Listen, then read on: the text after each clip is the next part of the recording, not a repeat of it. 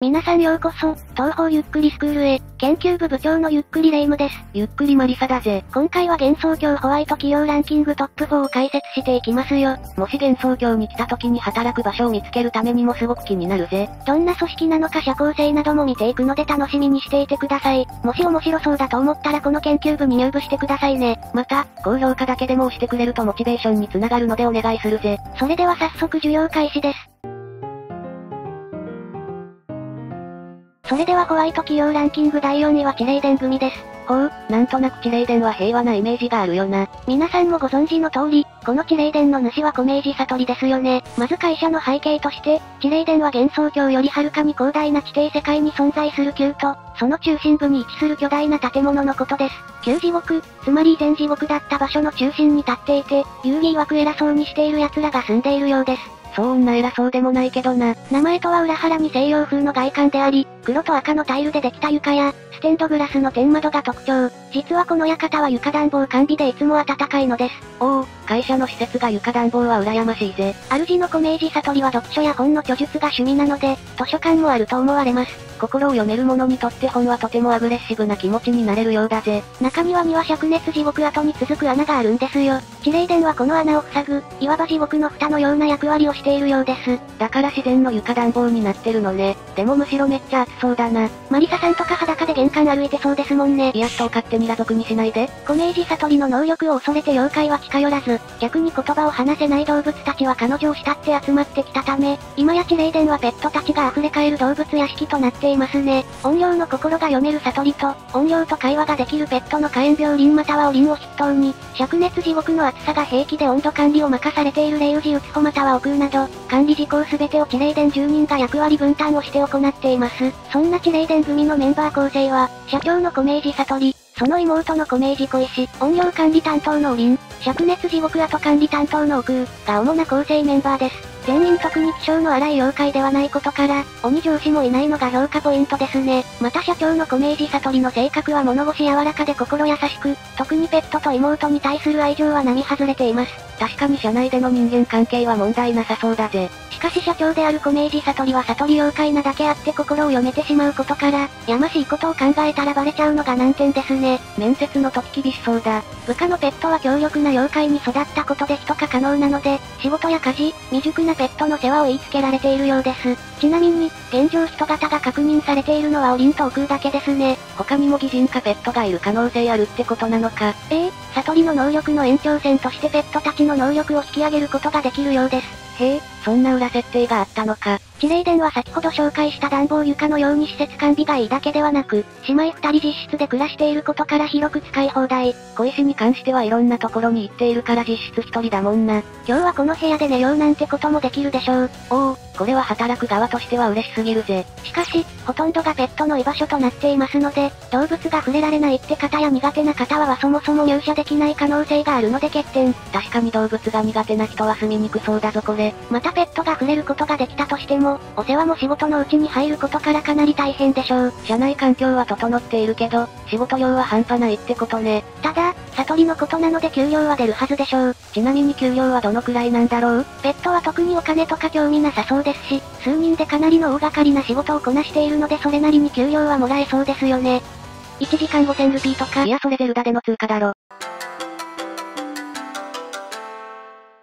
それでは東方ホワイト企業ランキング第3位は新霊病組です。まず社内背景として、新霊病は2つあり、豊里耳の巫女が戦術で幻想郷の空間の隙間に開いて作った異世界と、その地に建てられた病風の同居主要用の同情施設にして住居のことを新霊病と言います。ここややこしいところだよな。幻想郷に含まれる地なのかどうかは作中でもよくわかっていないのですが、東方神秘録にて幻想郷内で7つ集めると外の世界へ強制転移させる、オカルトボールの効果が発動しなかったことから異なる空間と思われますね。物のべの太が持ち帰った7つのオカルトボールがいつまでも消えず残り続けたことから、巫女はそのことに気づくことになるのですよ。話が難しすぎるぜ。夢戸の大死病から引っ越した先が、こちらの心霊病と呼ばれる世界です。幻想郷に混入された妙蓮寺の地下にある建物夢戸の大死病の中に入ると、広い空間にたどり着けるのですよ。この空間がステージ6の舞台であり、心霊病とは全く別の場所なのですが、なぜか同じ心霊病の名を付けていますね。まとめると夢戸の大死病が5面の舞台で、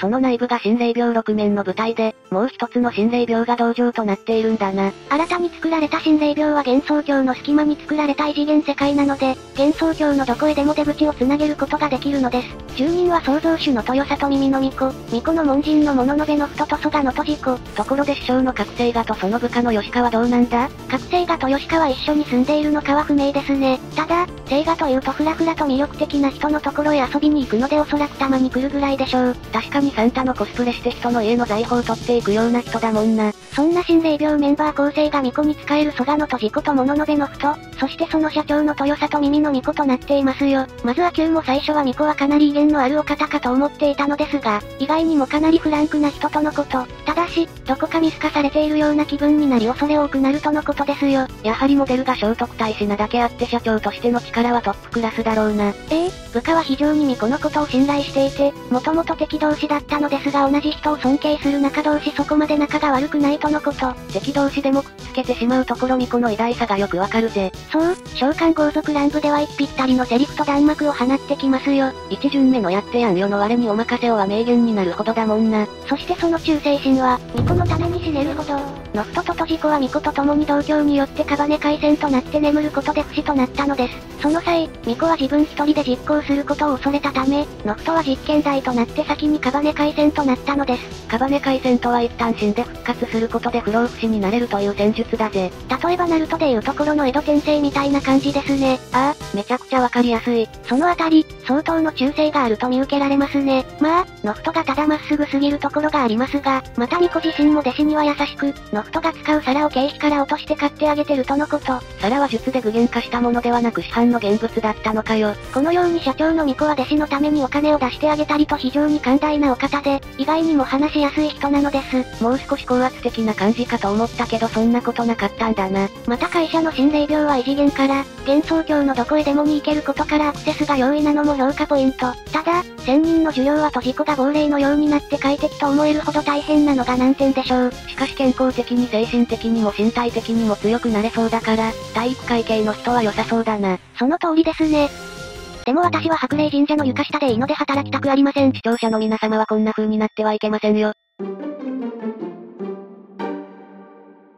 それではホワイト企業ランキング第2位はコウマ館です。出ました。完全にブラック企業だと思っていたぜ。まずはコウマ館の施設背景を見ていきましょう。5付近に立っている、赤い色調を持つ洋館。館内には大図書館や地下室、時計台が存在します。ちなみに吸血鬼のスカーレット姉妹がいるので、光があまり差し込まないためにも窓が少ないようだぜ。また、いざよい昨夜が空間をいじったことで、館内を本来より広くしています。あまりにも有能すぎるメイド長。そんなコウマ館のメンバー構図としては、社長のレミリア・スカーレット、その妹君であるフランドール・スカーレット、友人のパチュリーのオレッジ、その従者と思われる小悪魔、メイド長であるイザヨイ昨夜、同じく従者にして門番を務める本命林、といったような構成となっていますね。やはりコウマ館は多種族の者が住む異質な組織です。魔法使い、ヴァンパイア、悪魔、謎の中国妖怪に、人間って本当に意味がわからないぜ。ええ？最近では戦闘民族も入社したとか。いやフリーザ軍の話だろそれ。やはり種族が違う分、ここの性格も大きく異なっていますね。しかしそんなコウマ感をうまくまとめ上げているのが、社長であるレミリア・スカーレット。レミリアがいないと意外と何もできない子たちが多いんですよ。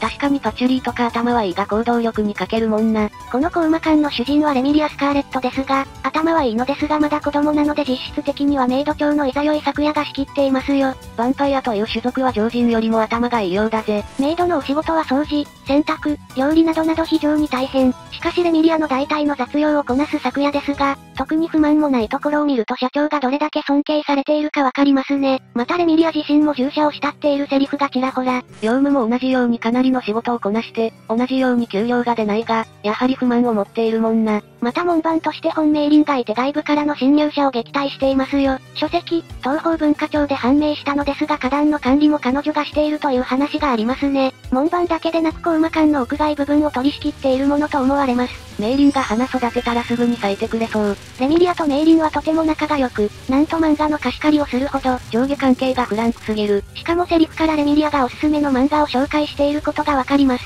まさかのレミリア社長が社員に優しい上司だった件館内地下にあるの図書館ではレミリアの友人のパチュリーのオレッジが暮らしていて、たまに人間も来るようですよ。また地下室にはフランドール・スカーレットが幽閉されていました。その他、小悪魔や多数のメイド妖精たちが館内に存在しています。妖精メイドは無給ですががメイド服や昨夜による食事が支給されていますよ。本当にたくさんの種族がいるんだな。ビッグマム海賊団みたいだぜ。コーマ館でハミニマム海賊団になりますがね。ただ、妖精なのであまり役には立っていないらしく、質より量を重視してかなりの妖精を雇っていますね。ここが面白いところで、社長のレミリアは悪魔を召喚することが可能なのですが、わざわざ妖精メイドを雇っているところがいいんですよ。おそらく雇っているのは昨夜ですが、それを認めているところ社長のレミリアの本質がわかりますね。確かに、妖精メイドには食事を提供していることからわざわざ位の高い悪魔を召喚せずに、幻想郷の妖精メイドを雇ってあげているところ懐の広いお方だよな。ええー、個性豊かなメンバーが絶妙な立ち位置で揃っているため二次創作でも使いやすくて、メンバーの性格付け次第で勝者な社交クラブとなっていたり、またハートフルな家族であったりするのですが、はたまた時には残虐な殺戮組織になったりといろんな形で活躍していますよ。また茨河線で幻想郷に連れてこられるも、人間の里を追い出されたホフゴブリンがコウマ館で雇われて新たな一員となっていました。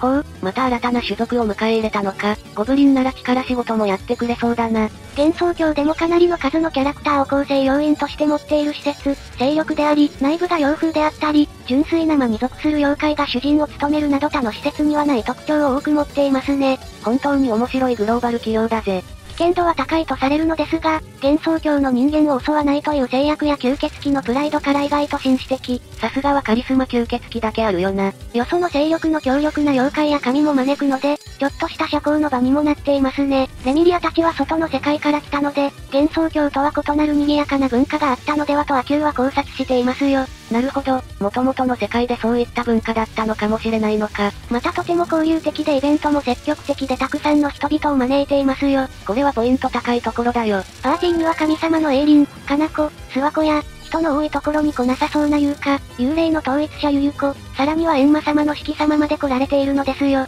コウマ館のパーティー大人気すぎだろ。さらに東方部門式によると人間も参加できるようですね。また幻想郷広しといえどパチュリーの図書館は、最も本が多いと言われています。なので、珍しい本を読むことが好きな人にとっては最高の福利厚生なんですよ。後先バス的存在の小悪魔師匠とも仲良くなれますしね。想像力豊かか。また意外にも野菜、山菜は敷地内に畑を作って自給自足していたりと環境的にもハートフルな館なのです。おお、栽培もしているなんて素晴らしいな。畑泥棒が出るため、対策として等間隔でマンドラゴラが植えていますよ。これはメイド長が行っているそうです。対策としてマンゴドラを植えておくなんて昨夜優秀だぜ。でも門を抜けられているところメイリンが寝ているに違いないな。ただ、メイリンが寝ていることを許しているところ、レミリアや昨夜の懐の広さがよくわかりますよね。ああ、それは確かに過ぎるぜ。といったようにコウマ館は洋風の広いお屋敷で設備も良く、いろんな種族と交流を交わせること、またイベントも頻繁に行われる社交性などから高評価ですね。ただ、一応給料なしの仕事量は半端じゃないことから第2位にさせていただきました。お世話なんか得意な人や栽培が得意な人はこのコウマ館が向いている感じだな。ええー、給料の代わりに昨夜の手料理を食べれるのもポイントでしょう。それはでかすぎる。コウマ館は少し危ないイメージだったが、思った以上にアットホームな会社で入社してみたいぜ。私もコウマ館で働いたら、